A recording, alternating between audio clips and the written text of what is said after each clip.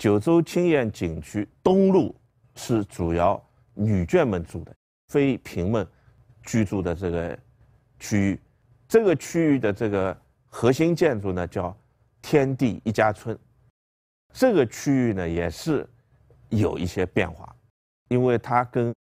女眷居住的这个情况的变化而变化。早期呢，我们讲在这个天地一家村这个一路里面呢。西北角是有一个皇后殿的，就是皇后居住的这么一个单独的小的院落空间，但是后期呢没有再这么安排。咸丰时期呢，慈禧就这个宜贵妃呢是住在这个天地一家村，就相当于这个非常核心的这个位置上，所以我们讲这个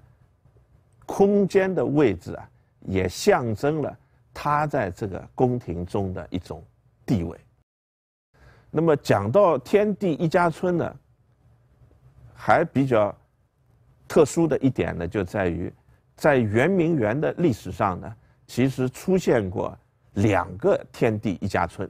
一个九州青燕景区的东路天地一家村，这个是一个原始的老的天地一家村；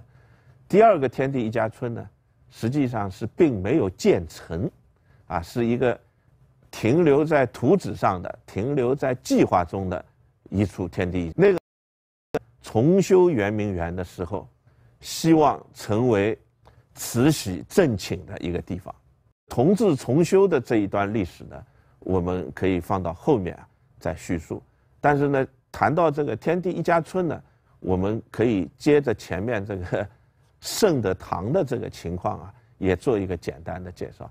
天地一家村的这个建筑的形制啊，也非常有意思。它比圣德堂在某种程度上呢，还要再夸张一点。它是五开间，四卷勾连搭，就是大家可以想象，就是一个正常的五开间的房子，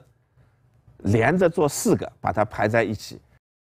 这个我们完全可以看到，就是它形成了一个。南北方向的尺寸大于这个东西方向尺寸这么一种建筑格局，所以我们讲，虽然天地一家村没有建成、没有落成，但是这个想法、这个思想其实也留下来了。所以到光绪年间，